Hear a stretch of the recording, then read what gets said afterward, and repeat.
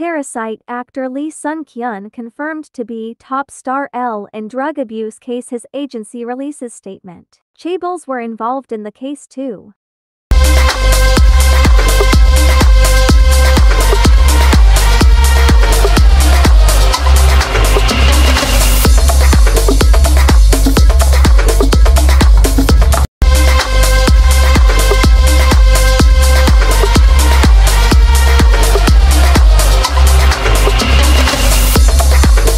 Representative at the Incheon police station stated that it was true that Lee Sun Kyun did marijuana and paid a huge amount of money to his drug dealer. Although we need to investigate, we suspect that the reason for the extortion from his dealer was because of his fame. His agency has also made a statement. We are currently checking on the accurate facts about the suspicions raised towards Lee Sun Kyun. We plan to diligently and truthfully comply with the inspectors and investigations that will be carried out in the future, Hodu Entertainment shared. It was also reported by the Incheon police that third generation chaebols, celebrity hopefuls, and others were involved in the drug abuse case. Lee Sun Kyun is a top actor that has starred in many hit shows such as Parasite and My Mister. Recently, Korean news reported about a top star with the initial L being accused of drug abuse. Netizens were quick to guess the identity of the actor, with clues pointing to Lee Sun Kyun.